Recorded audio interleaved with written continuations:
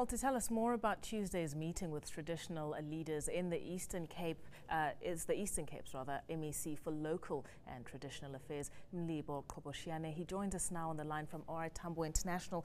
Mr. Qoboshiyane, welcome to ENCA. Last year, um, at the towards the end of December, local, the Eastern Cape local government met with various stakeholders to discuss yeah. the deaths of initiates. This was at the point where about 30 initiates had died. We're now at a point where 40 have um, have died.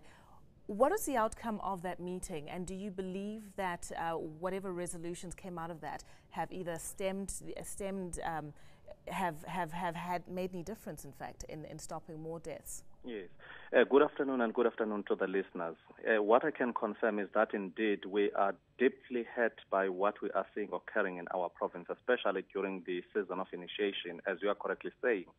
But we have decided uh, to be much more stronger on campaigns. And what we are going to do on Tuesday, we're going to receive a report of the summer season uh, on initiation, as well as to present a clearer plan to centralize initiation school in areas where death, um, injury, and incidents are record high. And definitely show our aim is to maximize capacity and resource usage and better treatment and care, as well as monitoring and support for those that are still uh, going to attain this same ritual in the month of June or winter season that is coming. In your meetings with traditional leaders and other stakeholders, the idea of communal initiation schools, did it, did it receive a positive response and is it a feasible or viable option?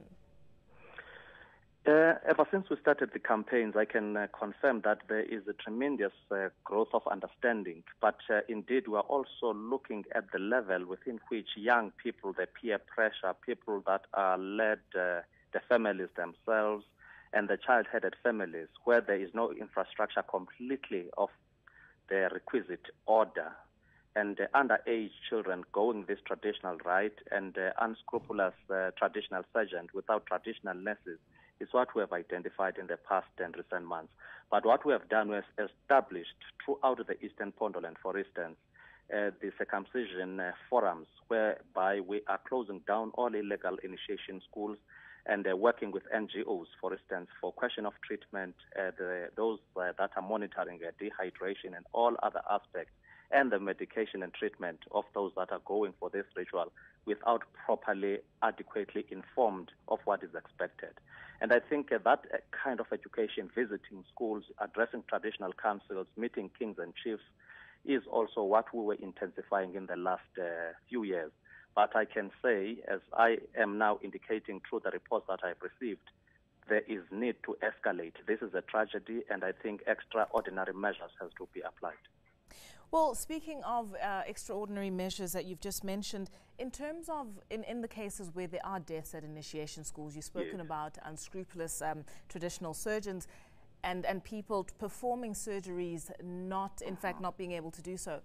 What, yes. what other measures are actually being taken? I understand that in your last meeting you did appeal to the NPA to look at prosecuting those people.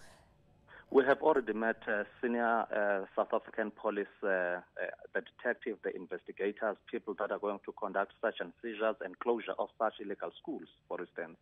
And I think all the cases of the 40 initiates that passed on are now uh, receiving uh, a high level consideration in terms of showing exactly what kind of preferred charges can be meted against all those that have caused all this pain injury to those young boys. And I think uh, this unprecedented move also of meeting the NPA and um, the Director of Public Prosecution, because we want all those cases to be fast-tracked, investigated, and the reports from doctors to be obtained such that we can deal decisively with this tendency. After the summer season, the uh, summer, uh, summer initiation season, going into the winter season, what do you want to see happening uh, as far as initiates what education are you yes. are you giving them as far as where they should be going, what they should be looking out for after after the circumcision in terms of healthcare and you mentioned dehydration earlier on. At which point are you educating them to say there needs to be some kind of intervention despite that social pressure to stick it out and essentially to be a man? The reality of the situation is that uh, government is always ready. The problem is that uh, when the families and the social fabric is collapsing, it's difficult because this is a family ritual. This is a tradition, this is a culture and a custom, which cannot necessarily be totally managed by government or government officials, for instance. But uh, adequately, we are meeting as a Department of Health, Department of Local Government and Traditional Affairs, the House of Traditional Leaders, and all the NGOs that have an interest to ensure this matter is resolved, including all traditional councils and INCOs in those particular areas. Just to say, the law has been laid. It is quite clear. The procedure is known, and uh, we want to intensify the campaign to ensure that there is no season that we must record death instead of festivities for boys that have been graduating from boyhood to manhood. That is what we want to establish, and the society that is taking care and effort of their own kids and children. This is what we intend doing. Well, thank you for your time. That was Mlibo Qoboshiyane, MEC for Local and Traditional Affairs in the Eastern Cape. You deserve to know more. ENCA.com.